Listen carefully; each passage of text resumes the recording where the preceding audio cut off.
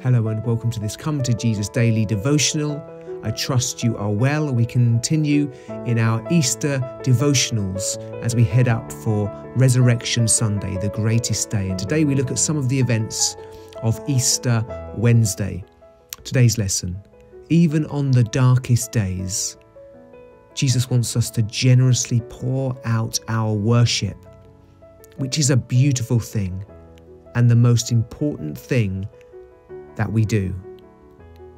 Although Jesus' anointing probably took place on the previous Saturday night, as we, as we read in John 12 1 to 12, Mark, Matthew and Mark mix it in with the events of Easter Wednesday. This is because these authors were more interested in the themes than they were in the chronology. They wanted to contrast her loving devotion with that of Judas and the religious leaders who are seeking to betray and to kill Jesus. Firstly, the Passover is two days away. We read in Matthew 26 1 to 2. When Jesus had finished saying all these things, he said to his disciples, As you know, the Passover is two days away, and the Son of Man will be handed over to be crucified. Let's remember that the events of Easter were all prophesied and took place according to the plan and love of God. Jesus' life was given for us, it was not taken from him. As with the events of Passover, Jesus is presented as our Passover lamb who was given for our freedom. Secondly, we read about the scheme to arrest and kill Jesus. According to Jesus' predictions, the religious leaders schemed to arrest and to kill him. We read in Matthew 26 3 to 5. Then the pre- chief priests and the elders of the people assembled in the place of the high priest, whose name was Caiaphas, and they schemed to arrest Jesus secretly and kill him, but not during the festival, they said, or there may be a riot among the people. They are intent on Jesus' murder, not because of the evidence against him, but because of their wicked, the wickedness of their hearts. They represent all of us before God moves in our lives. Unbelief is the result of sin, it's not the result of evidence. Thirdly, Jesus is anointed in Bethany.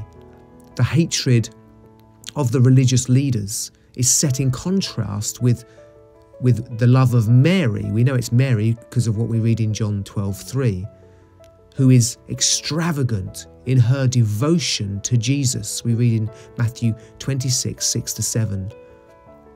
While Jesus was in Bethany, the home of Simon the leper, a woman came to him with an alabaster jar of very expensive perfume, which she poured on his head as he was reclining at the table. This was an amazing act of faith. This perfume would have acted like insurance. It was an amazing act of faith and generosity, it, it being worth one year's wages, we read about in, in John 12. Fifth, fourthly, why this waste?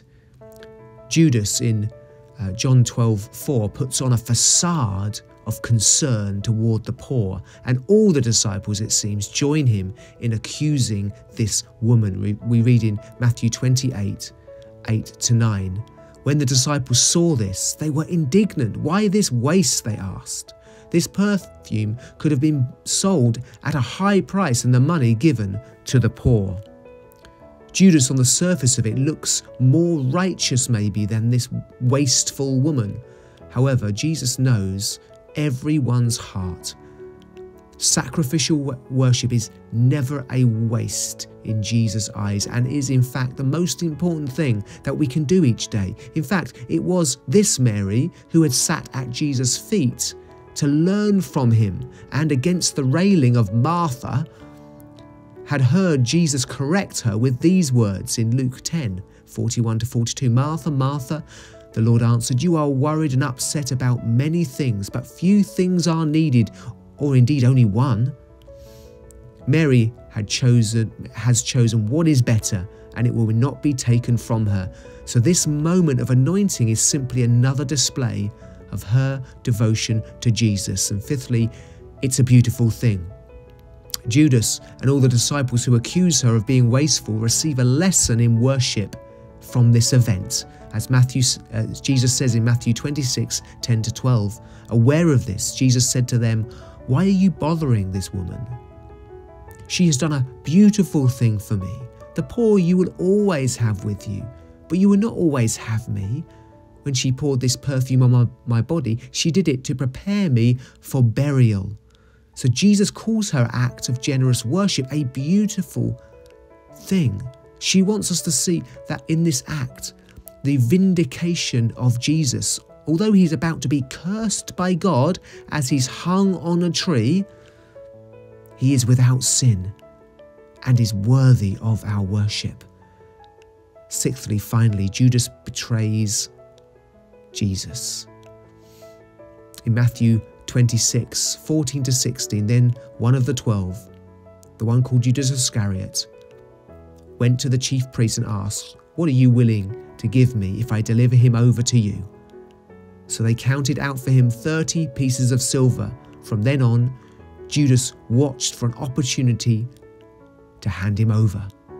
Jesus is now betrayed for the equivalent of four months' wages. Judas and the religious leaders are set in contrast with Mary, who anointed Jesus with oil at the cost of a year's wages. So, in response, pour out your worship. On this Easter Wednesday, we are taught that even on the darkest days, Jesus wants us to generously pour out our worship, which is a beautiful thing and the most important thing that we do.